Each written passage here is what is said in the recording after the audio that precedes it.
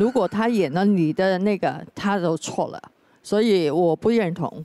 我因为你没有表情，拍到你就傻乎乎坐那里站那里看拍戏。我真的我想讲跟替他说说一句话，是因为这一次是第二遍，第二遍是突然有那么多，他都说有一点紧张。其实他一直呃一来彩排的时候，我说你必须要在后面做所有的反应。这一遍我不我没看到，可是上一遍他是完全有做到的。嗯，做漏了，紧张太紧张，跟老师说对不起。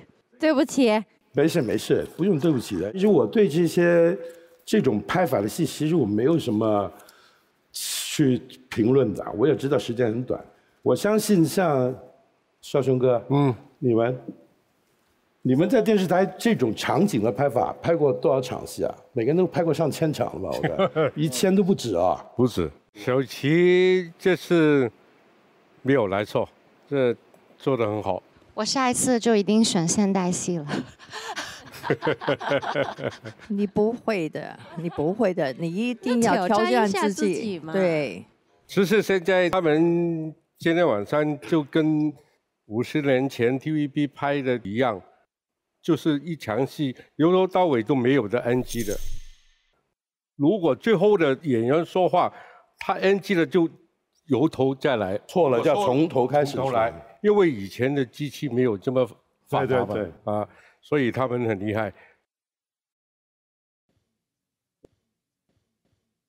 首先聊聊海琪，你演古装的造型就确实跟时装不一样，有点异国风情。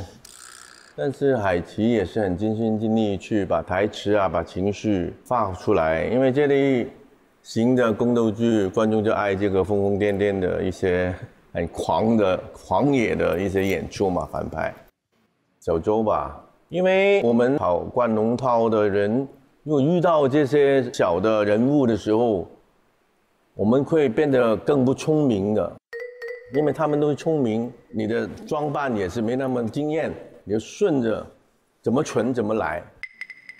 你的宫女跟别人不一样，没有那么讨喜的感觉的时候，你就往往你低处，你觉得他没有那么讨喜？